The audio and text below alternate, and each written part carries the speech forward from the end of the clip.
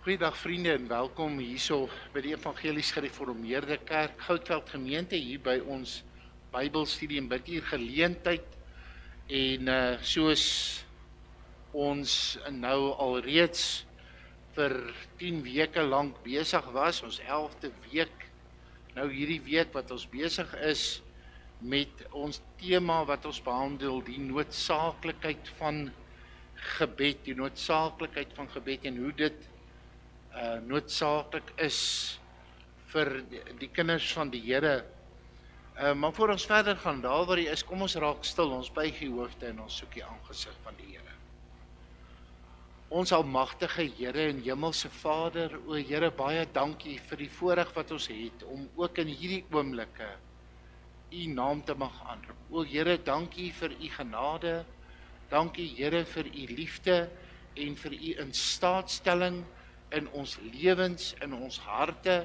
O Here, ook in hierdie oomblikke terwyl ons u naam aanroep, kan ons maar net die grootheid en die goedheid van u guns bewonder, aanskou in ons lewens.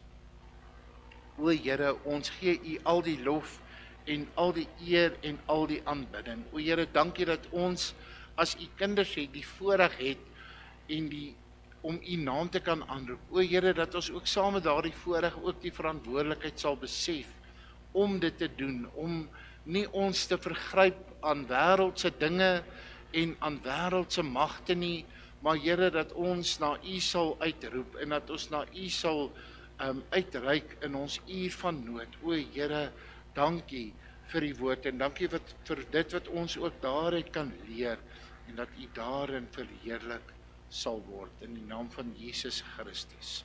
Amen. Nou vriende, ons praat vandag so bietjie oor gebed en waaksaamheid. Gebed en waaksaamheid. En dit is nou waarom julle nou daar op die skerm nou hierdie vreeslike uh um soldaat in sy oorlogsgewaad gesien het want ons lees van hierdie tipe waaksaamheid en die rede vir die waaksaamheid waar ons ook gaan uitkom in Galasiërs, ag skuis tog Efesiërs hoofstuk 6 daarvan vers 10 af. Ek gaan vir u lees. Hy uh, Paulus skryf hy sê eintlik my broeders word kragtig in die Here en in die krag van sy sterkte. Trek die volle wapenrusting van God aan sodat jy staande kan bly teen die liste van die duiwel. Want ons worstelstryd is nie teen vlees en bloed nie, maar teen die owerhede, teen die magte, teen die wêreldheersers van die duisternis van hierdie eeu, teen die bose geeste in die lig. Daarom neem die volle wapenrusting van God op, sodat jy weerstand kan bied in die dag van onheil en nadat julle alles volbring het, staande kan bly. Staan dan vas. Julle lendene met die waarheid omgord, met die borswapen van die geregtigheid aan en as skoene aan julle voete die bereidheid vir die evangelie van vrede. Behalwe dit alles, neem die skild van die geloof op waarmee julle al die vuurige pile van die bose sal kan uitblus en neem aan die helm van verlossing en die swaard van die gees. Dit is die woord van God terwyl terwyl julle met alle gebed en smeking by elke geleentheid bid in die gees en juis daartoe waak met alle volharding en smeking vir al die heiliges. Ek gaan net tot daar lees vanoggend en dit skets vir ons 'n duidelike prentjie van die rede waarom die kind van God waaksaam moet wees, nê? Nee? Um, Charles Wesley skryf 'n koortjie. Hy sê stand up then in his great might with all his strength endued but take to arm you for the fight the Penelope of skies tot the panoply of God in die liedjie se naam is Soldiers of Christ Arise. En dit vriende is die stryd waarin die kind van God gewikkel is. Wanneer ons Efesiërs hoofstuk 6 lees en ons kom met die wapenrusting van God, dan moet ons besef dat hierdie beskrywing wat ons hier kry is 'n kompakte beskrywing van die uitrusting van die kind van God. Want onthou, die kind van God is 'n Christenstryder. Ons sing daai wonderlike lied voorwaarts Christenstryders voorwaarts om te stry. Want die kind van God is altyd in konflik gewikkeld. Maar hoe hoe sê ons, hoe weet ons dit? Hoor wat sê. Hoor dit sê Paulus in vers 12. Hy sê want ons worstelstryd is nie teen vlees en bloed nie, maar teen die owerhede, teen die magte, teen die wêreldheersers van die duisternis van hierdie eeu, teen die bose geeste in hulle. En nou hoor, 'n mens moet na die taal ook kyk, die taal gebruik. Hy sê want ons worstelstryd is nie. Hy sê daai woordjie is. Hy sê nie was of gaan wees nie. Hy sê dit is. Ons is nou heidaglik in 'n stryd gewikkel, nie teen vlees en bloed nie, maar teen die magte, teen die wêreldheersers, teen die owerhede, teen uh die wêreldheersers van die duisendes van hierdie eeu, teen die bose geeste in hulle. Nou op hierdie oomblik, liewe broer en suster, liewe vriend, liewe vriendin, is ons as kinders van die Here gewikkel in 'n geestelike stryd. Ons is in oorlog. Soms hard, ander kere ligter. Soms vrugte vrugteloos, ander kere oorvloedig. Maar altyd konstant in konflik, in stryd.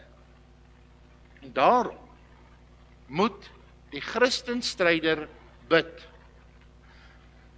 Nou hoor wat sê hy? Hy sê in vers 16 Ekskuus tog. Uh vers 18 hy sê terwyl julle met alle gebed en smeking by elke geleentheid bid in die gees. So neem die wapenrusting op. Ja, doen al hierdie dinge en dis goed en dis reg terwyl julle bid.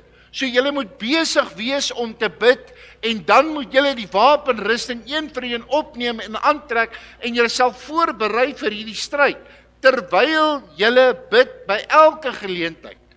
Né? Nee? Want slegs op hierdie manier kan hierdie vyand waarteen ons daagliks stry, elke dag, elke oomblik as kinders van die Here, slegs op hierdie manier kan hierdie vyand oorwin word. Gebed is daardie plek van rustigheid, daardie plek van kalmte waarheen die kind van God gaan om vrede te vind, om vrede te kry daai plek waarin hy vlug in die hitte van die stryd. Nou hoor bietjie. Hierdie stryd waarin die Christenstryde, die kind van God homself bevind, is 'n lewenslange stryd. Dit gaan nooit ophou nie.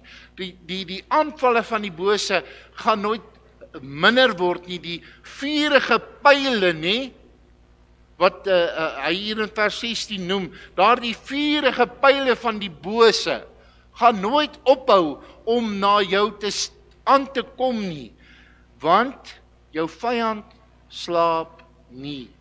Jou vyand rus nie. Hy's elke oomblik van die dag daarop uit om die kind van God van stryd te bring om die kind van God te laat val. En daarom vriende is dit om 'n kind van God te wees nie 'n vakansie nie. Jy word nie geroep om bietjie te rus nie. Jy word nie geroep om in die vrede van die Here in te gaan nie. Jy word geroep en opgeroep tot die stryd. Jy word opgeroep om te stry. 2 Timoteus 2 vers 3 skryf Paulus vir Timoteus hy sê ly dan verdrukking soos 'n goeie krygsman van Jesus Christus. Hoor, ly dan verdrukking soos 'n goeie krygsman van Jesus Christus. Jy weet kinders van die Here baie keer, ons het hierdie idee dat ons nou uh um op die goue hoofweg is op pad na glory land, nê? Nee? En alles moet net mooi loop en alles moet net regloop en dan mag nie probleme wees nie en dan mag nie stryd wees nie. Maar wat ons nie onthou nie en wat ons nie altyd besef nie, is dat daar 'n aktiewe vyand is wat aktief besig is om die kind van God tot val te bring. Dit is sy doel, dit is wat hy wil bereik en dit is wat hy kan bereik. As die kind van God nie bedag daarop is nie. Soveel kinders van die Here dink om wedergebore te wees is 'n vrypas ehm um, wat jou vrywaar van stryd, wat jou vrywaar van siekte, wat jou vrywaar van die die lyding en al die probleme van die wêreld, want en en baie keer ongelukkig word dit gesê en as jy dit nie het nie dan het jy nie genoeg geloof nie. Die waarheid en die feit van die saak is vriende uh, uh vers 12 wat ons worstel stryd is nie teen vlees en bloed nie. Ons worstel stryd is teen die owerhede, teen die magte, teen die wêreldheersers van die duisternis van hierdie eeu, teen die bose geeste in die lig, elke dag, elke oomblik.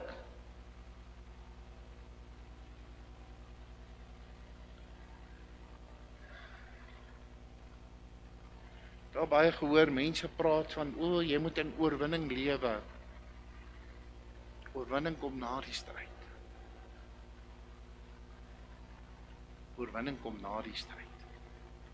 Nou tegnies is dit nie verkeerd om te sê jy moet in oorwinning lewe nie. Want as dink nou so daaraan as 'n soldaat in 'n stryd ingaan en hy het en hy het nie hierdie hierdie gedagte en idee dat hulle die stryd gaan oorwin nie dan gaan hy mismoedig wees en hy gaan halfhartig wees en hy gaan dalk wel weghardloop van die stryd. Maar ons weet as kinders van die Here dat die stryd alreeds gewen is aan die kruis. Dit beteken nie dat die oorlog verby is nie. En daarom stry ons in daardie oorwinning. Daarom stry ons hierdie stryd in daardie oorwinning wat reeds bepaal is en wat reeds behaal is aan die kruishout van Golgotha. En daarom en daarom omdat ons weet dat ons stryd teen die bose geeste in die lig is, omdat ons weet wie ons vyand is, weet ons watter wapenrusting ons moet aantrek en dit is dan wat Paulus uh um van vers 13 af hanteer. En en en julle sal ook sien daar is nou so 'n mooi prentjie daar op die skerm wat nou elkeen so bietjie mooi uiteensit wat elke een is, nê? Maar hoekom sodat jy weerstand kan bied in die dag van onheil?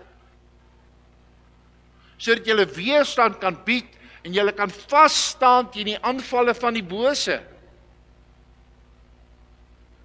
Wat jy sien jy moet jou vyand ken. Jy weet as ek net dink in terme van sport. Wanneer twee spanne mekaar die stryd aan sê en daar op die sportveld by mekaar kom, maak nie saak wat se sport dit is nie. Dan gaan doen daardie twee spanne huiswerk oor mekaar. Hulle gaan kyk na video's van die span se spel en hulle gaan kyk waar is hulle goeie punte en waar is hulle swak punte en waar kan hulle 'n 'n voordeel kry bo die ander span.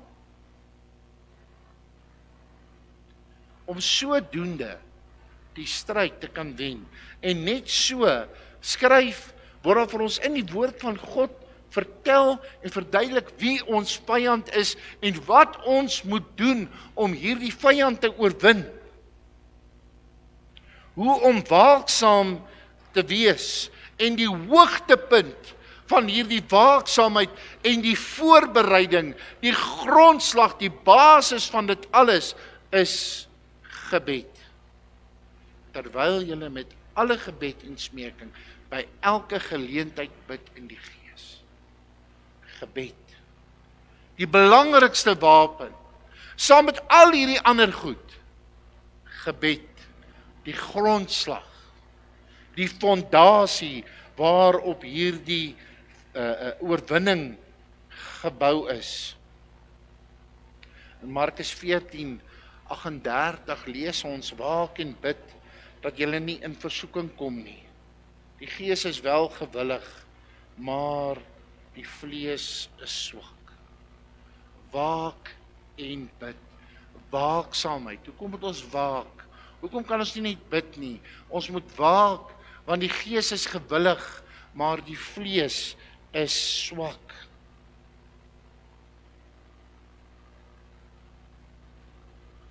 Ons waak.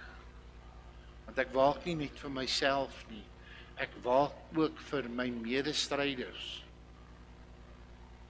Vir my mede kinders van die Here wat saam met my hierdie stryd stry. 1 Petrus 5 vers 8 hoor. Hoor wat skryf Petrus hier. Hy sê wees nigter en waaksaam. Hoekom? Want julle teestander, die duiwel loop rond soos 'n brullende leeu en soek wie hy kan verslind. Verskoon tog. Jy sien die die die oorlog is nie 'n persoonlike saak nie. Dit soos die ou wapen en die lese van Suid-Afrika gesê het eendrag maak mag. Ons moet saam staan. Kinders van die Here moet ons waaksaam wees, nie net vir my eie persoonlike stryd nie, maar ook die van my broer en my suster in die Here Jesus Christus. Waaksaam wees dat hulle ook deur 'n geestelike stryd gaan. Waaksaam wees dat hulle ook nodig het om waaksaam te wees. Jy sien vriende, wat ons moet besef, ons ons leer ons leer baie keer van hierdie wapen. En ons moet hierdie wapenrusting aantrek en dit is wonderlik, nê? Is wonderlik om hierdie boodskap teen ons weet, maar as ons nie bid saam met daardie wapenrusting nie as gebed nie deel is van die hele uh uh stryd en veldtog teen die Satan en sy magte nie, dan is al hierdie dinge, hierdie wapenrusting wat ek aantrek, waardeloos en nutteloos en van geen waarde vir my nie. Want dit is gebed wat die verskillende dele van die wapenrustinge eenheid maak sodat ek as kind van God effektief kan stry in hierdie geestelike stryd waarin ek myself bevind. As ek waaksaam is, as ek waaksaam is in gebed, is dit die die beplanning en die uitvoering van die geestelike stryd. Die wat waak en die wat bid wil ek amper sê nie dat ek ooit in die weermag was nie.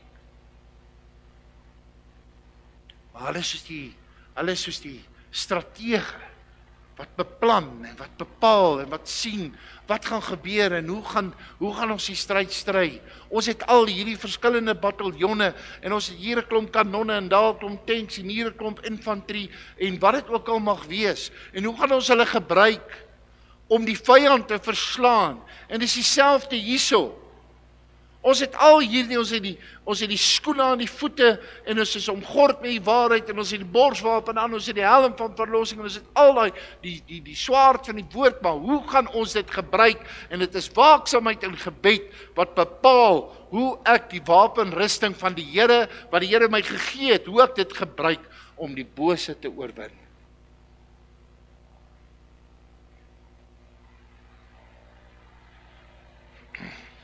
So as die Christen stryder altyd in oorlog gewikkel is. En dis baie duidelik. Dan moet die Christen stryder ook altyd in gebed wees.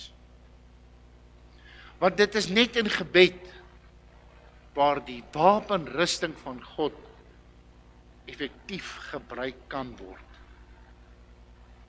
Nou ja, in die Nuwe Testament kry mens verskillende woorde wat uh van uit wat van uit die oorspronklike taal in Afrikaans vertaal is met waak. Die eerste is om nie te slaap nie, nê, om 'n wakker gemoedstoestand te hê. Met ander woorde, om wakker te wees, net normaalweg wakker te wees.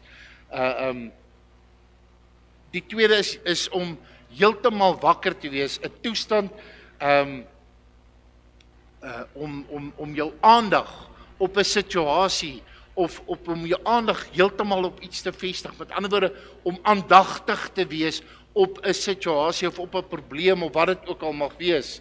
Die derde betekenis is om 'n kalmte van gees te besit, onaangeraak deur bose invloede, onaangeraak uh um deur omstandighede. Waaksaam vir slaggate, waaksaam vir die lokvalle van die bose. En Paulus gebruik al drie hierdie verskillende woorde uit die oorspronklike taal wanneer hy sy briewe skryf en twee daarvan gebruik hy met betrekking tot gebed. Met betrekking tot gebed. Intensiewe waaksaamheid is die voorwaarde vir effektiewe gebed. Waaksaamheid. Ons praat, ons het afgelope uh 10 weke wat ons nou hierdie uh tema hanteer van die noodsaaklikheid van gebed het ons elke keer gesê hierdie is noodsaaklik vir gebed. Hierdie is noodsaaklik vir gebed. Vriende, waaksaamheid is noodsaaklik vir effektiewe gebed. As kinders van die Here omdat ons in stryd gewikkel is, moet ons bid en moet ons waaksaam wees want ons het 'n aktiewe vyand.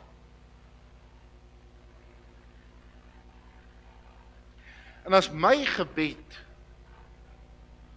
nie waaksaamheid vir persoonlik nie, as my gebed dood. Of dan kan dit die dood van my gebed beteken. As ek nie waaksaam is in my geestelike lewe nie, kan my gebedslewe doodloop. En dis presies wat die vyand wil. Vriende, ons moet verstaan, ons vyand ken ons en hy weet presies watter knoppie om te druk. En hy weet presies watter woorde om te gebruik om seker te maak ons doen wat hy wil hê ons moet doen. En dit is Efesiërs 6:18 het ons gelees en juis daartoe waak met alle volharding. Met alle volharding. sien Paulus gee hierdie waaksaamheid in gebed 'n prominente plek, 'n belangrike plek. Dis 'n belangrike gedeelte van hierdie stryd, die belangrikste gedeelte. Want onthou as dit gesê ook daar in vers 18, hy sê terwyl julle met alle gebede en smeking by elke, elke geleentheid bid in die Gees, nê? Nee? So terwyl julle besig is om te bid, trek hierdie wapenrusting aan. I mean Jesus Christus het dit ook gesê in Markus 13:37 en wat ek vir julle sê, sê ek vir almal, waak. Waak. Waak.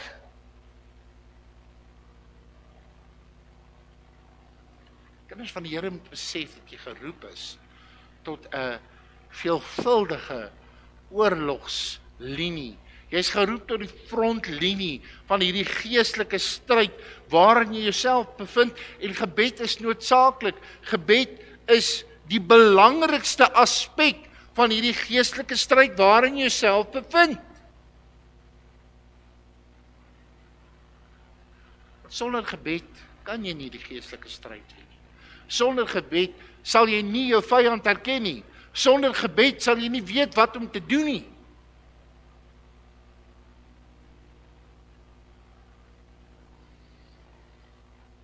Aan die ander kant moet ons hierdie vraag is nie regtig 'n vraag nie, is meer 'n stelling. Hoe kan die kinders van God val? Hoe kan hulle val in die stryd? As hulle benewens daaglikse gebed en waaksaamheid die volle wapenrusting aantrek, dan kan jy mos nie val nie. Dan kan jy mos nie val in hierdie stryd nie. Dan moet jy oorwin en dan kan jy in oorwinning lewe. Onthou het dan nou daarvan gepraat. Dan kan jy in oorwinning lewe. Want jy doen wat nodig is om in oorwinning te kan lewe. Om terwyl jy stry te weet dat die oorwinning reeds behaal en daar's niks wat jou kan raak.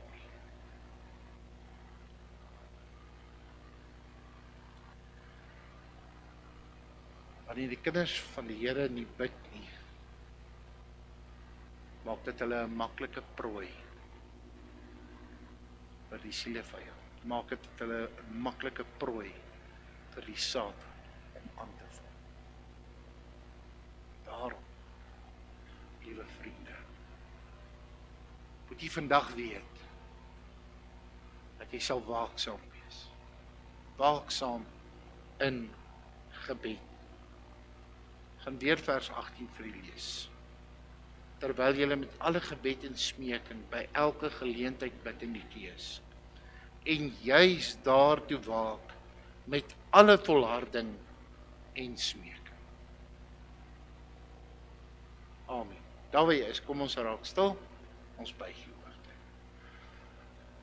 Ons hemelse Vader, o Here, ons dankie vir u woord. En ons dankie Here vir dit wat ons kon geleer het. Dit wat ons kon gesien het uit u woord vandag. O Here, dankie dat u ons weer eens uit u woord uit vir ons dit kom duidelik maak het dat ons elke dag in 'n stryd is en dat ons elke dag besig is om te stry. O Here, en dat ons in gebed en in waaksaamheid hierdie volle wapenrusting moet aantrek sodat ons bestand kan wees en die oorwinning kan behaal in die dag van ellende en in die dag van besoeking. O Here, hou u hand oor ons, maak ons sterk en laat ons staande bly en waaksaam sal wees, nie net vir onsself nie, maar ook vir ons ander broers en susters om waaksaam te wees in hierdie stryd. Ons bid dit alles in die wonderlike naam van Jesus Christus. Amen. Vriende, baie dankie dat u vandag saam met ons ingeskakel het. Onthou asseblief, u kan gerus met my kontak maak. My kontakbesonderhede is op uh, die die bladsye beskikbaar. Jy kan op YouTube op die video kyk of onder by die uh um wat noem hulle die, die description kan jy net kyk my kontakbesonderhede is daar of op Facebook kan jy met my kontak maak. Ek het ook 'n e-posadres wat gebruik kan word. Um baie dankie dat u saam met ons ingeskakel het hier vanuit uh Goudveld gemeente hier en welkom en mag u in besonder ook vir die res van die week die seën van die Here ervaar. Totsiens.